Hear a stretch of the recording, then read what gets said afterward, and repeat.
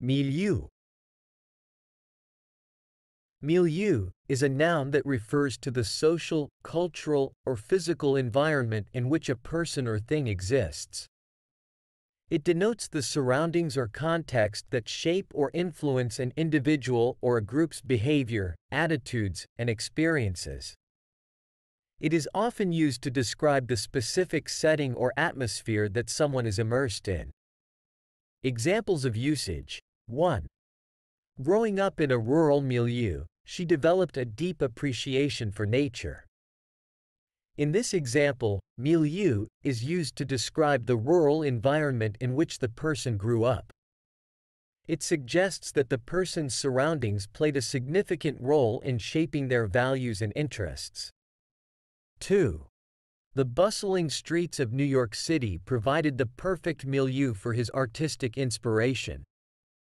Here, milieu is used to describe the vibrant and lively environment of New York City. It implies that the city's energy and diversity influenced the artist's creative process. 3. The strict academic milieu of the university encouraged intellectual growth. In this sentence, milieu is used to describe the academic environment of the university.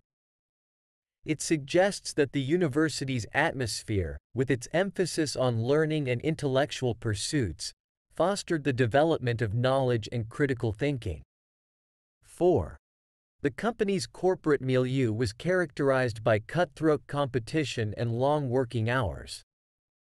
Here, milieu is used to describe the overall environment within the company. It implies that the competitive and demanding nature of the workplace influenced the employee's behavior and work culture.